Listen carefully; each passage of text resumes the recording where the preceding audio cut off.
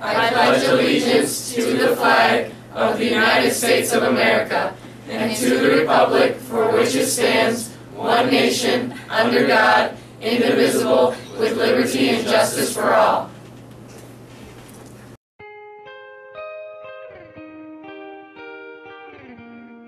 Ever since Brighton's been gone, Kate's been really down in the dumps lately.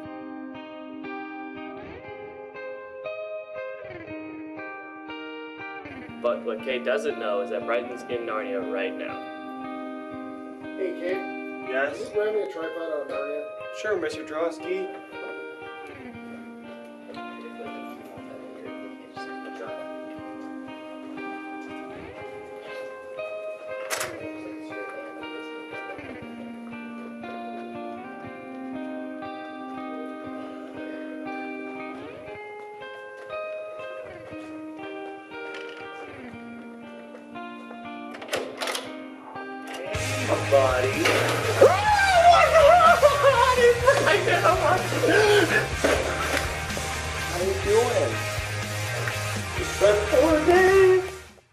Good morning, Mona Shores. These are your daily announcements for Wednesday, December 18th, 2013.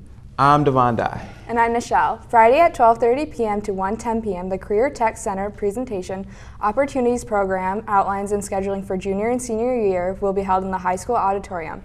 Any interested 10th grade student who is even considering one of the many opportunities CTC has to offer should come to listen to the possibilities. Talk to your fourth hour teacher today. Any boys who took first trimester PE classes and have left clothes or shoes in their lockers have until Friday to claim them or the items will be disposed of. Contact Mr. Baker to receive any items. In an effort to ensure Mona Shores High School is a drug, tobacco, and alcohol-free campus, there will be a visit from the Muskegon County Sheriff Office K-9 unit sometime in December. Please report any suspicious behavior to the front office in order to maintain a safe and orderly learning environment. The Spanish Club will hold its Fiesta de la Navidad on Viernes, January 3rd at 11:30 at El Burrito.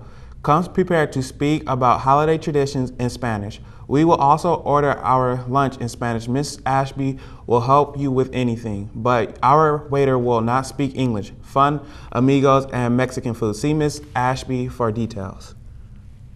If you want to go to Cleveland for the art department and broadcast speech, see Mr. Drosky, Mrs. Benson Fennell, or Mrs. Hoinga. Your money is due by Friday. The second installment of The Hobbit, Desolation of Smaug, trumps the Frozen at the box office. Amazon Prime drones deliver your packages in minutes.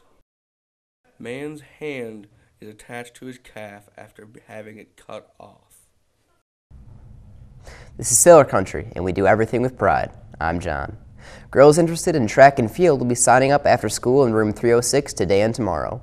We will begin training after the holiday break and attending some indoor track meets together. The JV boys basketball team improved to 4-0 with a win over the Fremont Packers 64-38. The Sailors' defense was key to this victory. The win was a total team effort with eight players scoring for the Sailors. The Sailors will host the Spring Lake Lakers tonight. Come out and cheer us on. After a slow start in the first Baker game, junior Ben Romanello sparked the boys' bowling team to a win in Game 2, along with great performances by teammates Andre Smith, Donveer Singh, Anthony Long, and Dan Bink. The Sailors fought hard and continued to show improvement. The girls' bowling team had a very close match against the girls from Grandville tonight. While leaders McKenna Birch and Megan Dykema continue to have solid performances, junior Sarah David came up big again by surpassing and setting her current season high game. In addition, Andrea Zarni and Kiara Gray had great showings. Though the match would go to Grandville, the Sailors were able to take the team game totals by one pin.